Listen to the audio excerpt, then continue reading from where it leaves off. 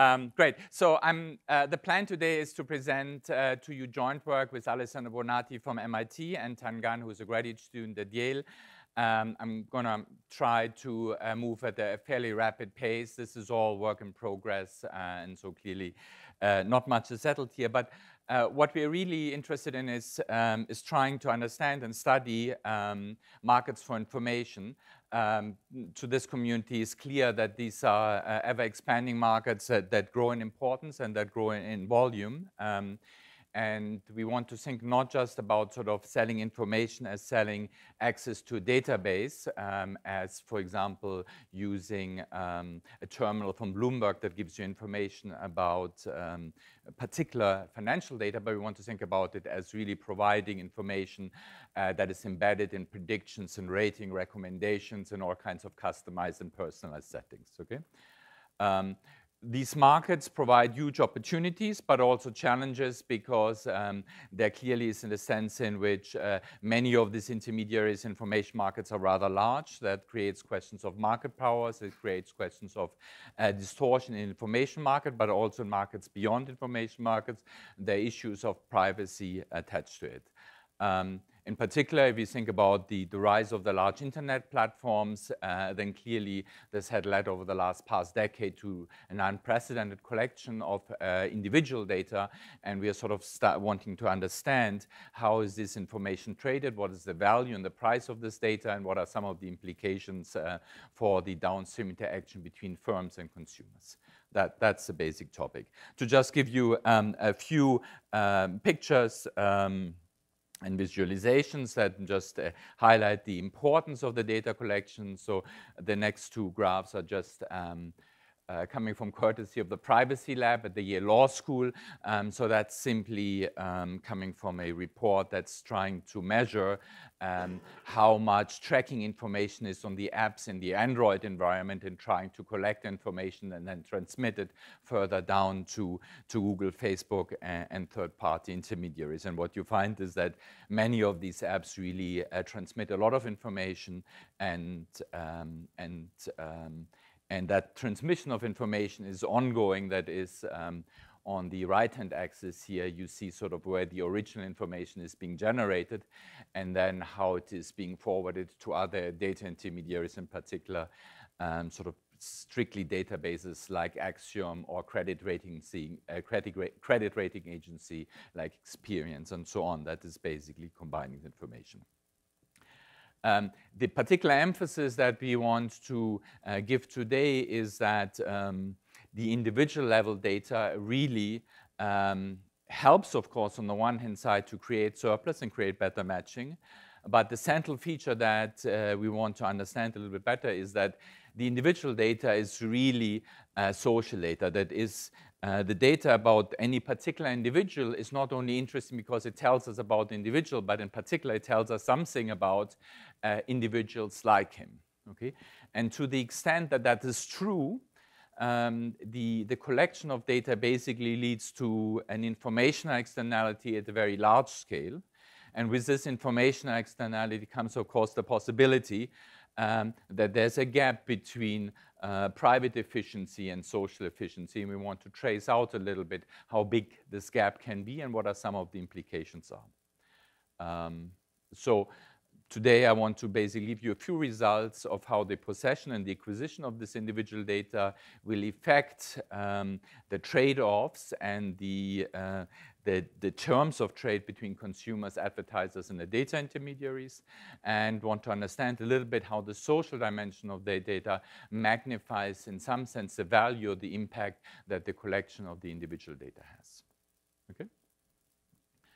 Um, when we want to think about information today, we want to think not just about the direct sale of information. So here's an example that Equifax, for example, is allowing advertisers to access information about the creditworthiness or the level of spending that is predicted by consumers.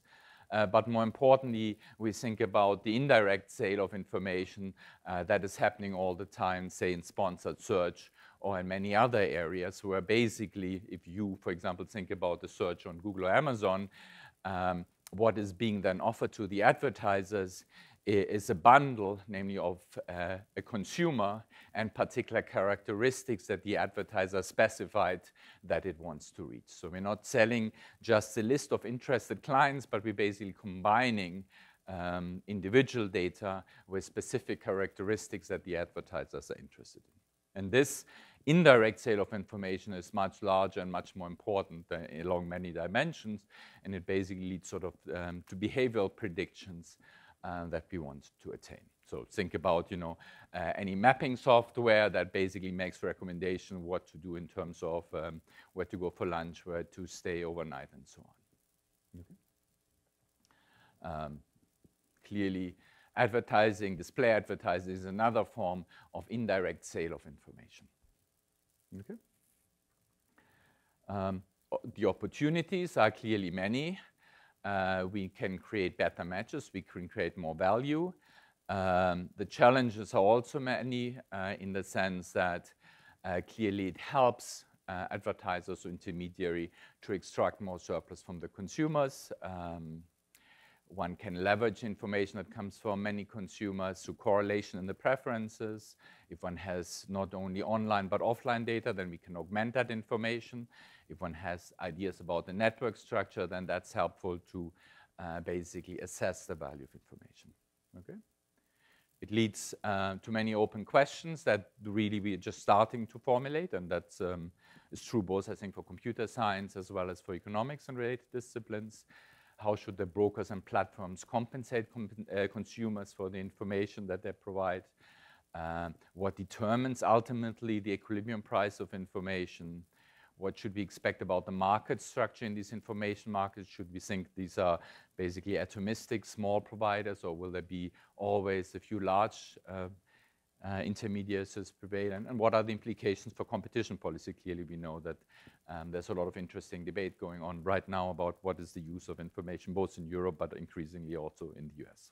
Okay. Um, so today, the model that I'm going to present you shortly um, relies on three recent papers that Alessandro and I have written. And there's, um, I should point out, a very important early work by Admati and on uh, how to price information for the purposes of financial market. This is really, uh, really classic work. And recently, both in the computer science and economics literature, there's work on how to price information that approaches it from a mechanism design point of view. Okay? Graphically or visually, um, the, this kind of scenarios, institutions that we're interested in is basically represented by this um, triangle here, where we think uh, underlying is an interaction between the consumers and the firms um, that generates the, the social value. Uh, the data intermediaries basically serve to both create the match, but also determine the trades or the terms of trade between uh, consumer and firm. Okay, so uh, the data intermediaries collect information. In exchange, they provide services or monetary payments to uh, the consumers. And then they hand on this information to the firms, to the advertisers, uh, and try to extract the compensation from the firms.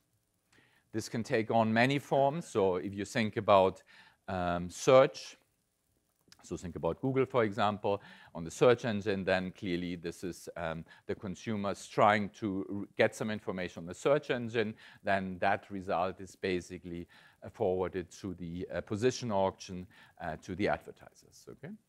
Um, it can take a more complicated structure in the sense that uh, consumers might interact on apps, um, generate information there. That information is then forwarded through agreements between the app and Facebook.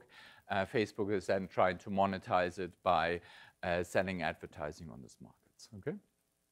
Today, the, the basic model that I want to present you and, and give you sort of some, uh, some few initial results is one where um, we want to think about the data intermediary, a single data intermediary that holds all the information. So maybe classically speaking, think about Acxiom or Experian um, that collects information from the consumers and is even willing to pay them for that information and then turns around and sells this information to the firms who in turn uses to price discriminate to basically um, offer different um, prices to different segments where the segmentation is happening endogenously based on the information that the firms received from, uh, from the data intermediary.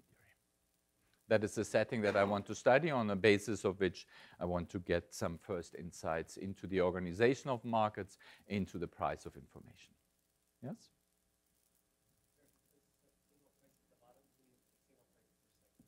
Uh, single price per segment per information that they have. Yes, thank you very much. Okay, so good. Let me uh, at least give you an idea of the model and um, then go through it. So we want to think about a single data broker, which is basically uh, intermediating between the consumer and the firm. Uh, they're end consumers, they're collecting the information, and then there's a monopolist seller who's trying to use that information uh, to choose a more sophisticated pricing policy.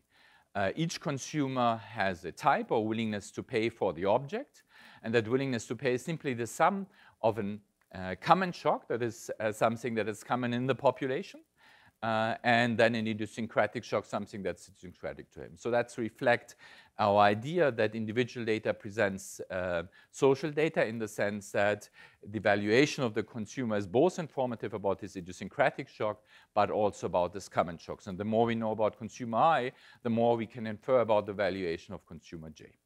Okay? The consumer simply has a linear quadratic um, objective function. That is, he wants to maximize his consumption minus the price he has to pay for the, uh, for the choice of quantity he's acting. And the, the seller is simply setting a single price for every segment and wants to maximize the revenue it can achieve from the consumer. So it's uh, the underlying interaction between the consumer and the firm is very simple. It's simply a price discrimination problem. Um, it will become more interesting when we think about the role that the intermediary is playing. Okay? In order to think about uh, the social data aspect, uh, we're going to today just talk about the um, normally distributed environment, that is the valuation of the consumer is normally distributed. Coming in, he's a little bit uncertain about this valuation is. This valuation is subject to an aggregate and idiosyncratic shock. Okay. Um, and when the firm or the intermediary then passes on the information to the, uh, to the firm, then it can choose to just pass on the information as it is, or it can choose to noise it up, that is, convey less information. Okay, so it has a, basically a choice both in terms of how it prices information, but also on how accurate the information is that it's providing to the firm. Okay. Okay. So the timing is very simple. The data broker commits to an information structure. Um, he offers payments to the consumer uh, to receive the information and in turn asks the firm to pay lump sum fee for the information that he's providing. Okay. They accept the offers or reject the offers and then uh, receive some private information that they pass on to the intermediary uh, and that is then passed on modified if possible, that it's noisied up if possible, conveying less information if um, appropriate. And on the basis of that information, the firm can then ask for a price that uses, um, basically tailors the price to the segment. Okay? All right, so um, let me just emphasize the social aspect of, of, the data. That is, every data point that I'm gathering from the consumer will tell us something about his willingness to pay, his type. Okay. Um, but because of the common nature of the data, it is also true that it will tell us something about the expected willingness to pay of the other consumers. Okay?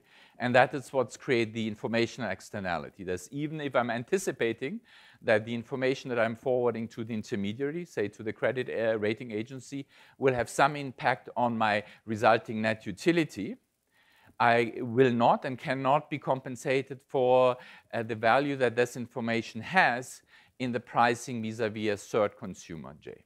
Okay? Um, so I'm not getting compensated, nor is that other consumer compensated for the additional exposure uh, that he's going to face, given that the information is being collected and the information displays some correlation. Okay, and, that, and that's uh, really the source of the externality. It's, if you wish, a positive externality in the sense that we're providing more and more information. But of course, in the marketplace, uh, because of the pricing, uh, this might well turn into a negative externality, negative exposure by the consumers, and that's what we're trying um, to, to do, to investigate. Okay, so the, the pricing problem for the uh, firm then is very simple. Um, he, he knows that the, the firm is simply going to set a price P that will lead to some consumption. This is a linear quadratic framework. This is entirely standard. And what the firm is trying to do is for every information uh, that it has is trying to find the optimal price. Okay. Um, how is information and surplus related to each other is the first question we want to ask. Okay? We can, for a given information structure, compute what the consumer surplus is. And that has uh, two very natural components. One is the covariance between the willingness to pay and the price. Okay? If that covariance is high, then that of course means that the price will respond to a high willingness to pay for the object, which is a, a bad thing from the point of the consumer because it basically tells us that we're going to extract the surplus, okay? Um, so that's as the source for the need to be compensated for the information that I'm forwarding as consumer to the information intermediary, okay? Okay, and, and that's precisely what the consumer is going to ask for, okay? Um, Good. Now, will there be actually information transition equilibrium? And what's the nature of the information that is being traded between the consumer and the intermediary? Okay, that, that's the main question here. If we start out with one single consumer, then we actually find out that um, there will not be any scope for information transmission because this is a classic problem of third degree price discrimination where actually it is harmful for the consumer to forward the information because it will largely be used to extract more surplus without creating a sufficient amount of additional value. Okay? So if I'm just trying to get information about the idiosyncratic preference of the consumer and then pass that forward to the firm, then under no circumstances and under no informational policy can I create a, a valuable market for information. Okay? But the thing changes very dramatically, and that's the basic logic uh, that is, um, was actually formulated originally by, by Joan Robinson in 1933 already about um, the, um, you know, the, the, um, the negative effects of price discrimination on consumer welfare as well as social welfare. what is interesting is that this changes rapidly when we have more than one consumers and when we are becoming aware of the informational externality that is in play between the consumers. So I'm going to present you one main result on when there will be profitable intermediation, when there will be scope for a data intermediary to actually pass on the information, even though the consumers fully anticipate the damages that the information does to them. And then I'm going to uh, think about what happens when markets become large, that is when there are many consumers. And I want then to think about what happens when the uh, firms or the intermediary offer many services, many ways to source information. Okay? So the first result is that um, we can actually have uh, information uh, transmission if and only if a particular ratio or a particular uh, relation inequality satisfies, and that is saying uh, if it's the case that the size of the aggregate shock about what we're trying to learn times the number of buyers in the market is large enough to outweigh the idiosyncratic information, then there is scope for information transmission. And the idea here is simply to say if that product between the number of consumers and the aggregate shock is large enough, okay, and clearly it will always be large enough if we choose n to be large enough, then the informational externality is strong enough that we can basically just pass on the aggregate information.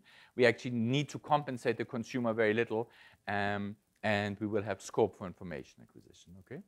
In terms of how much information should the data intermediary optimal provide, uh, we can show that he never would want to add idiosyncratic noise, but that it will be profitable for him to actually not forward all the information, but just offer a noisy version of the information that he has collected. Okay, so there will be some residual privacy as part of the optimal information structure.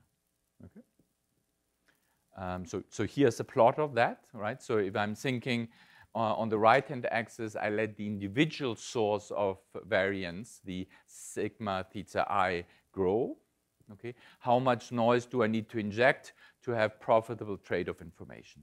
And when the idiosyncratic, no idiosyncratic variation is large, then I need more noise because I basically want to uh, suppress the individual exposure of the consumers to surplus extraction. Okay? Good.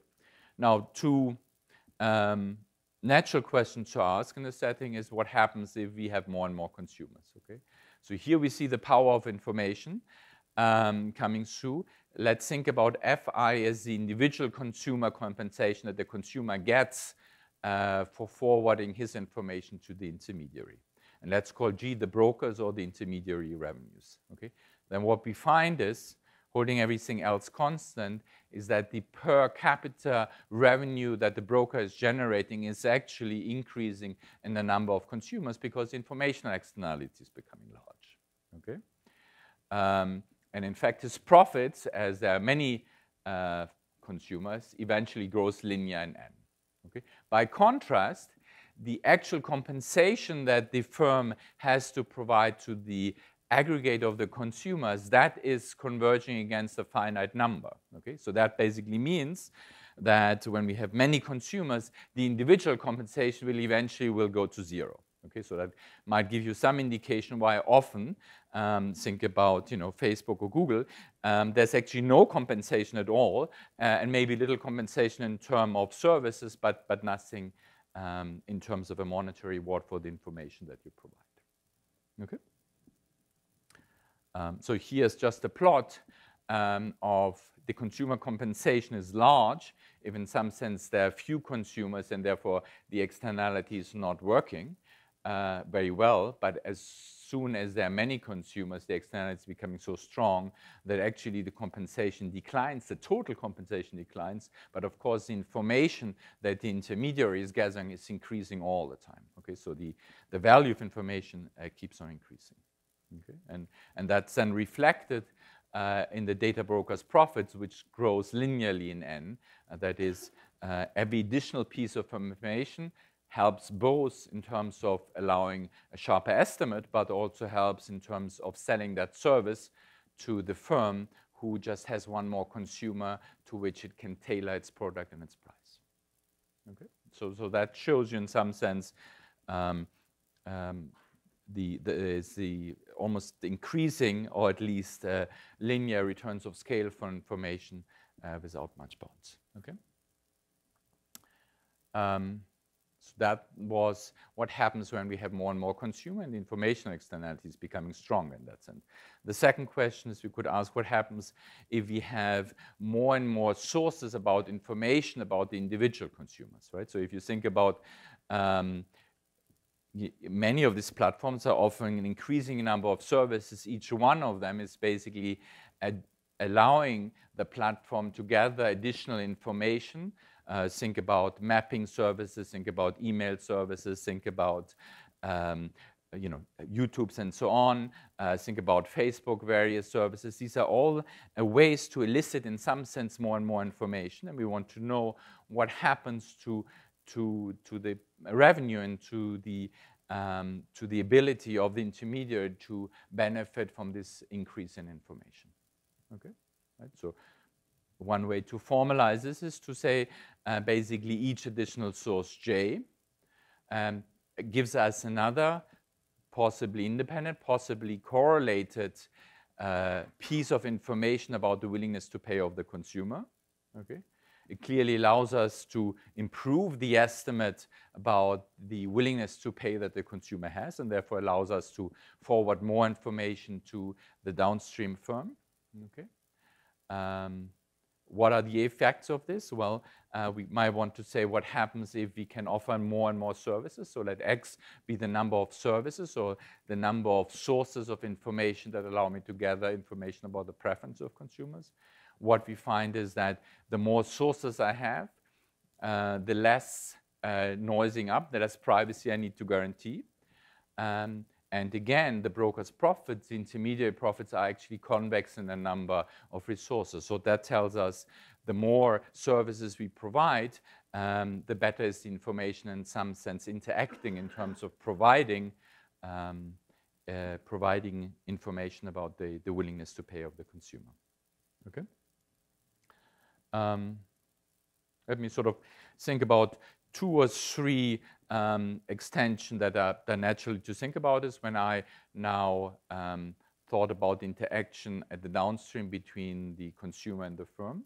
I focused intentionally on price discrimination, uh, intentionally because in the absence of intermediation, um, there was no scope of um, forwarding the information. Okay, but in the presence of the externality, there is. Um, now, this is, of course, just one particular way of using the information. There are other ways in which I can use information or the firm could use information.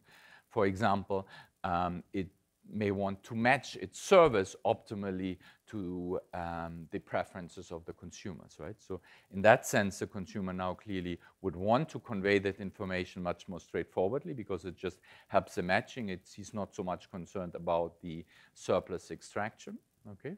So think about now, uh, they're not just being one firm downstream, but many firm downstreams, all with their individually different objectives, okay? Some of them maybe want to use information to price discriminate, others to allow them to better match uh, the product and the preferences of the consumers, okay? Um, in that environment, clearly, um, there are different motifs and, and, different ways to evaluate what should be the optimal passage of information, what's the socially informational, the socially efficient way to pass on the information. But what is clear um, is that it will rarely be uh, the case that the market will naturally lead to a first best allocation because the objectives of the individual firms um, clearly don't match up to, um, to the social welfare. Okay? Um, so um, even though uh, to some firms, I may want to actually give all of the information, even from a social point of view, in the overall, uh, it's clear that the total allocation will typically not be first best. So there are concerns regarding the social efficiency of these information markets. Okay. Um, in the model that I described to you and its result, we clearly used uh, monetary compensation for the information. Uh, but likewise, you can think about sort of what often has been described as a barter economy, namely where um, we're not exchanging information for money, but we're exchanging information for services. Okay. Um, all I have said so far uh, can be simply translated because if you just think about what is the monetary equivalent of the services, then the presence of the information externality basically allows the firms to provide services that are on average below the value of the information that the consumer passes on to the intermediary. Okay. Uh, this then leads to many interesting questions regarding uh, the industrial structure or the market structure um, of these information intermediaries or information uh, brokers um, that might be interesting um, to study. Okay. Finally, um, I, I did discuss um, a single intermediary, uh, and it's natural to think about uh, there being many intermediaries, and you could think about would the informational externality um, go away or be weakened or be of less importance when we not have a single intermediary, uh, but in fact competing intermediaries, right? Uh, and here, um, the results that we currently have are um, showing that while competition will help a little bit, um, perhaps will provide larger uh, privacy under some circumstances, uh, it typically will not resolve the problem. It will not return us uh, to a first best um, social efficient outcome. Okay, so let me just give you uh, one such result. So, so now let's think about not just being one information broker, but two information brokers. They are competing, um, and of course they compete uh, they could compete either in single homing, right? So think about operating system. Those are typically single homing. Think about search engines. Clearly, I can use many engines if I want. I could search for product on Amazon. I could search for projects on Google. Okay. Um, but but the result is that um, given the given the nature of the information, um, when you have single homing and the nature of the information externality, typically it will be the case that all consumer will just to sell to one broker, even though we're allowing for competition because of the informational externality, the firm that has the larger base will be able to offer more favorable prices to the individual consumers because in some sense he is exposing the individual consumers to less of an informational externality. Much of the information has been gathered already, so the, uh, the damage that is being done is less. Okay. Um, with multi-homing, it will be the case that typically consumers will be able to sell to all of the brokers, but it will not change the total amount of information that is being passed along. Okay. So, so one such um, result is here for the case of the single homing consumers. Okay. So if um, the idiosyncratic information is small relatively to the common information, so that is we have a substantial amount of social externality, then one can show that there exists, in fact, a unique pure strategy equilibrium in which one of the firm takes over the entire industry, uh, whereas the other firm is trying to compete, is trying to compete on favorable terms with respect to privacy, but it just can't offer the right compensation that would be necessary to move the consumer from the large firm to the small firm. Okay. Um, even though uh, we're basically now collecting all the information in one firm, even though we offer competition. There's some effect in terms of the privacy which is given to the individual consumer. So in a competitive environment, uh, this is the picture here, um, the, the firm that provides all of the information will introduce more noise in addition to the firm, that is, will grant a higher level of privacy typically than it would do in the absence of a competition. So there's some ameliorating, attenuating effect, uh, but that's not enough to, to basically get us to um, a first best. Okay, so um, that's sort of a, a quick introduction um, of how we can think about um, and formulate some of the important issues uh, in an increasing market space where information is traded, uh, where there's sort of a large infrastructure being built up to, to pass and evaluate individual level data, social level data, aggregate data.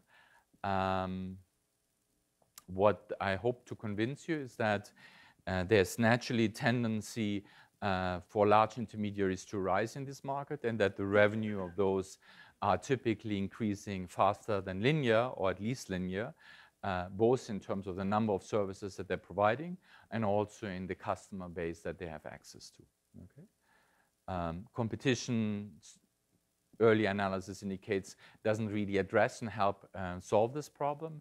And so uh, that lets us to think about uh, what are the implications for thinking about the market structure, uh, for regulation possibly uh, in this intermediation sector, in the sector for, for trading of information.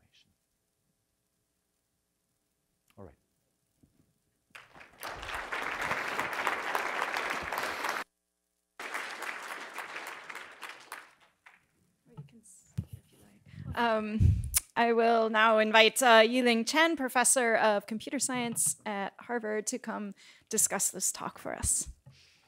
So I'm going to um, have some high-level discussion about Dirk's uh, talk. Um, so, so this is a, a quote from um, an Israeli author who wrote a New York Times bestseller book. And uh, the quote basically says that oh, if you get something for free, you should know that you are the product. So, so this is very puzzling that um, we're giving out valuable informations all the time. So since data is so valuable, why we always subject ourselves as the product? So I think uh, Dirk's talk uh, answers many questions related to a data marketplace. But the one intuition I really want to highlight is that it uses a very simple model, explains this phenomenon. So why the value of data is so high, but the data holders who are contributing the data basically contribute the data for free, or receiving a very low compensation, where compensation is very broadly defined. Uh, so let me just try to uh, reconstruct a part of Dirk's model at a very high level. Uh, so basically, the model is thinking about uh, a marketing application. So there is a firm who's trying to sell a product. Um, let's say that this product is an energy drink. Um, and the firm needs to decide um, a price for this product. And on the other hand, there are consumers, there are also data holders. And each consumer essentially have a linear demand function. So I'm really abstracting from uh, Dirk's model here. And this linear demand function depends on the type of the consumer, which basically is Ti, that represents the consumer's value for the first unit of the product. So if there's only one consumer, and somehow the consumer is sending some signals related to his type to an intermediary, and then the intermediary can pass that information to the firm, so we know that these are going to hurt the consumer because the firm may charge a price to maximize his profit, and that creates a decreasing of the surplus in the consumer. So in order for the consumer to be willing to share this information, the consumer must be compensated by the differential surplus. So, so I'm going to be hurt due to the price. So if you want me to share the information, at least I need to be compensated by that difference. So this is really just an individual rationality constraint or participation constraint for the data holder to be willing to share the data. So this seems to be quite uh, reasonable for this single green person. And since the right person below doesn't share any data, so the right person probably shouldn't be compensated. But sometimes the consumer's preferences are correlated. And this is exactly the model uh, that Dirk tried to capture. So suppose that the valuation of the consumers are actually correlated. So the correlation is con constructed using a common component theta, so which is normally distributed uh, with a mean and a certain variance. And then each consumer's type also has an idiosyncratic component that is theta i. So the variance of the theta part essentially tells us how correlated the individual's preferences are.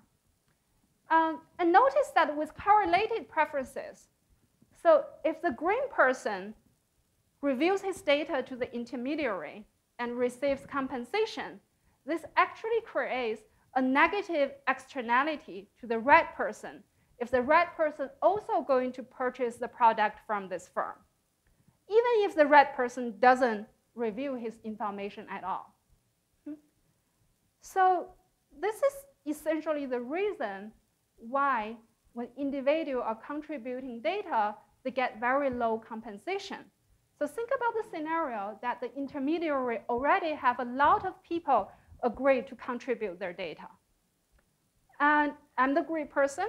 I'm thinking about whether I should contribute my data. So if I'm contributing my data, the differential surplus actually at this point is very small because uh, the intermediary already has a large amount of the data. And since preferences are correlated, that large amount of data makes a good prediction for the average or the mean valuation of the population already. So even if I'm going to contribute my data, that's not going to change that valuation very much. Okay?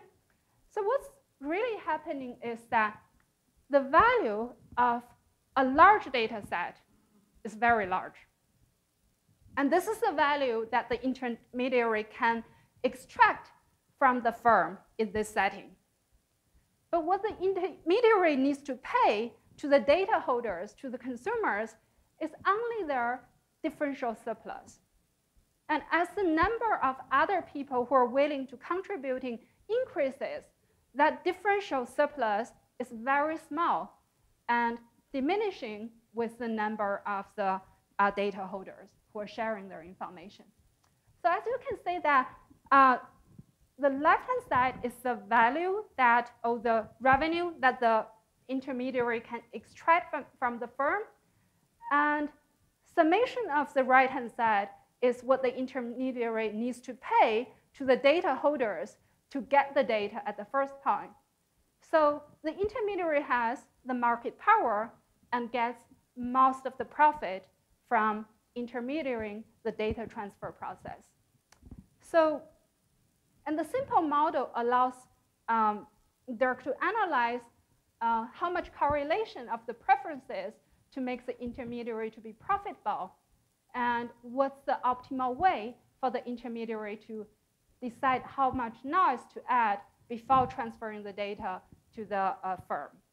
Okay, so there are a lot of other results in Dirk's talk, but that is the one that I really want to highlight because I think that essentially explains, oh, we have to consider the externality of individual data because it's not like that revealing my data doesn't impact you.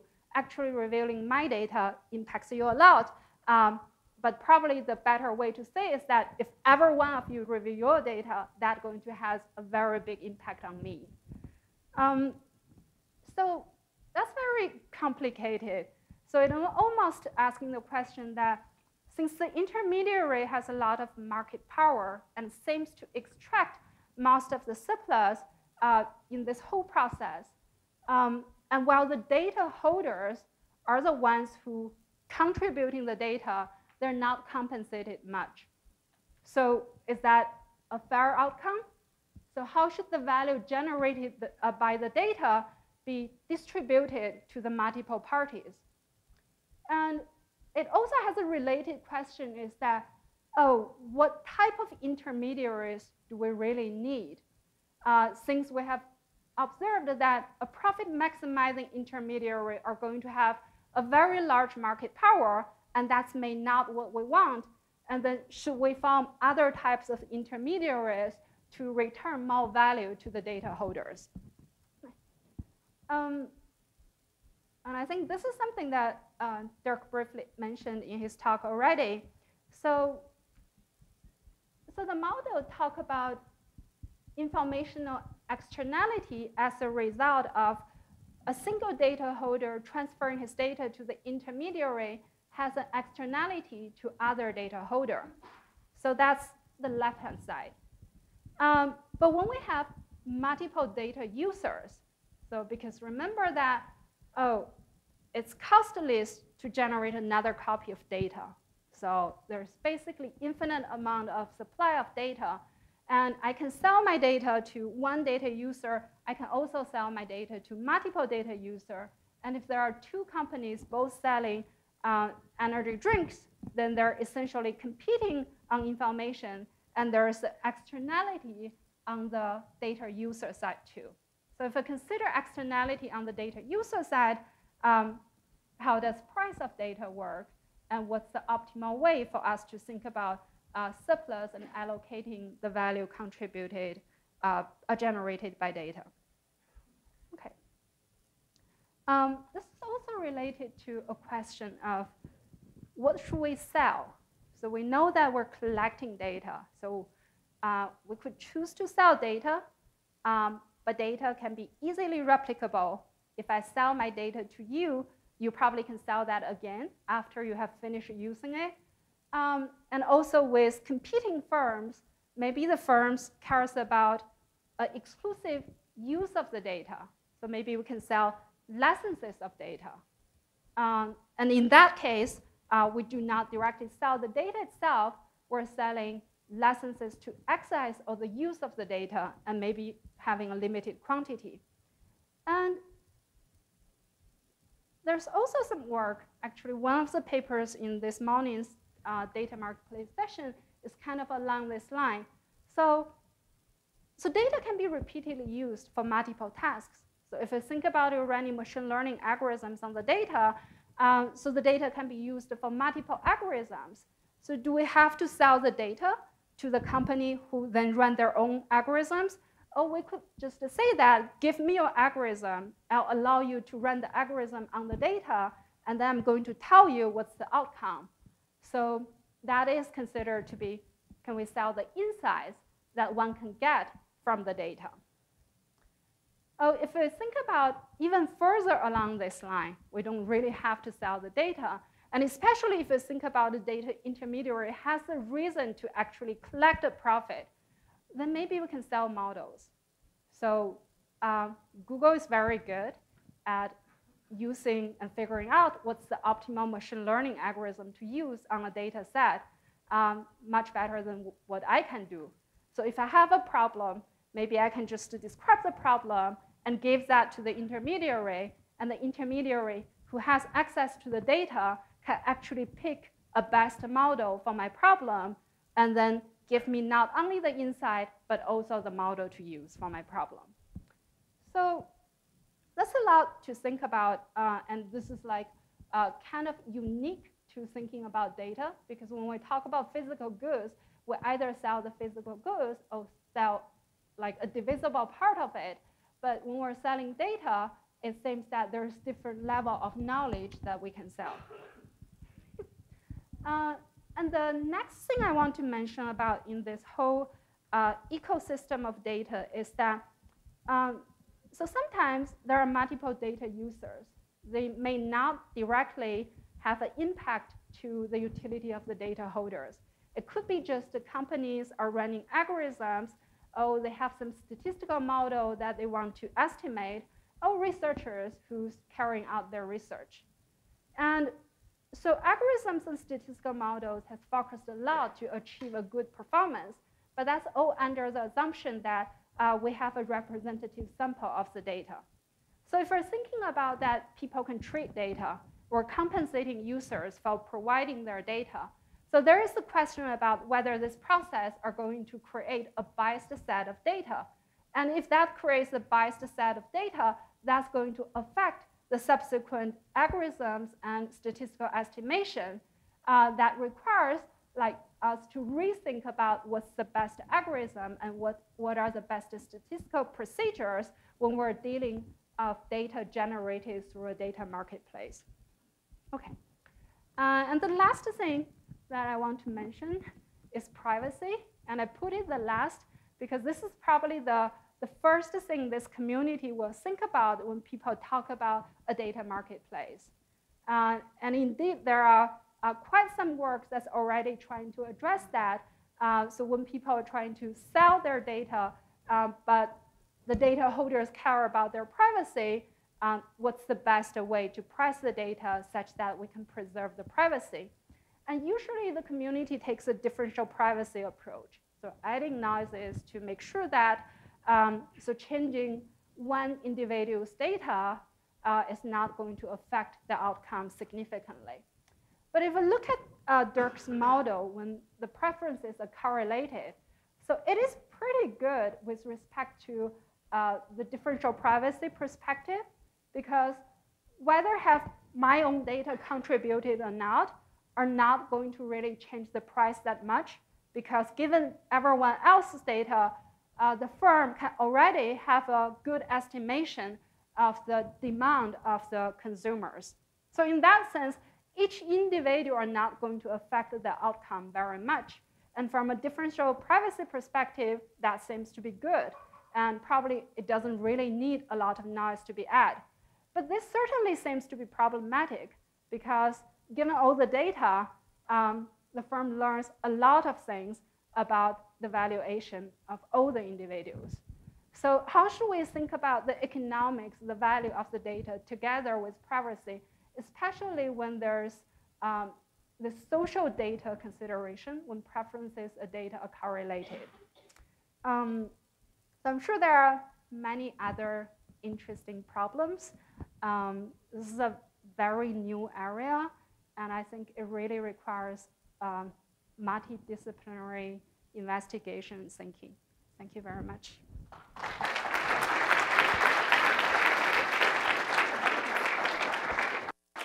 Um, I'd like to invite Dirk back up to uh, uh, respond to the uh, discussion, and um, you guys can ask some questions of the two speakers as well. Can you do it with the mic because we have people yeah, remotely actually?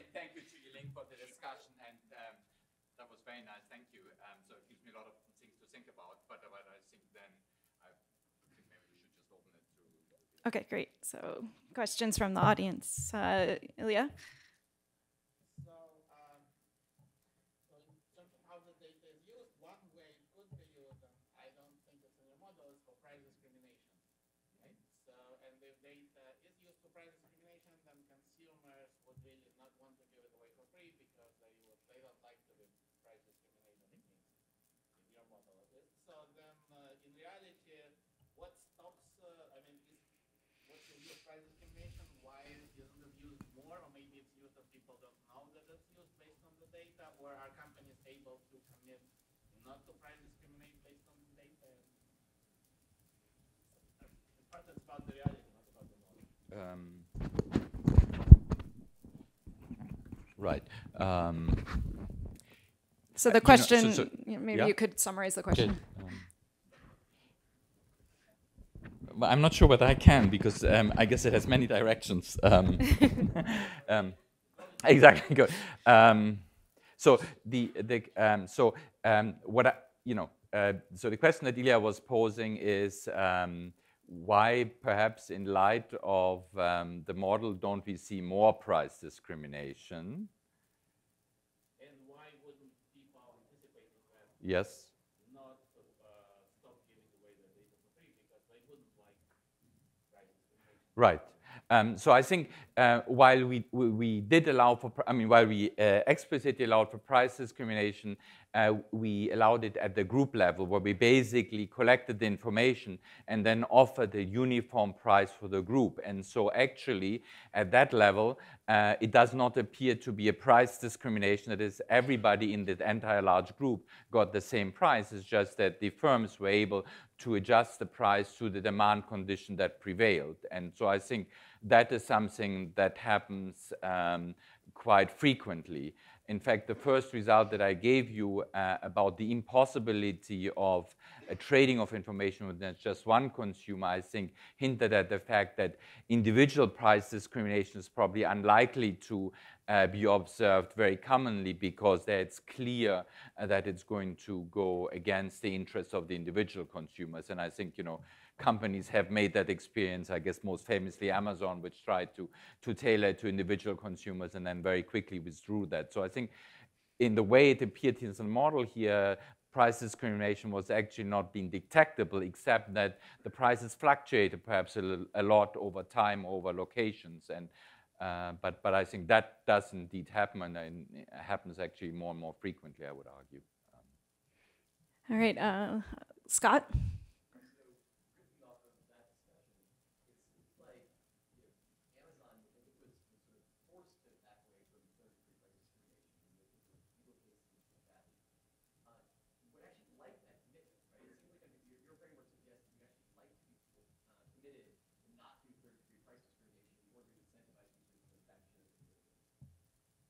Yeah, I think that's right. That's the correct summary, I think. Yep.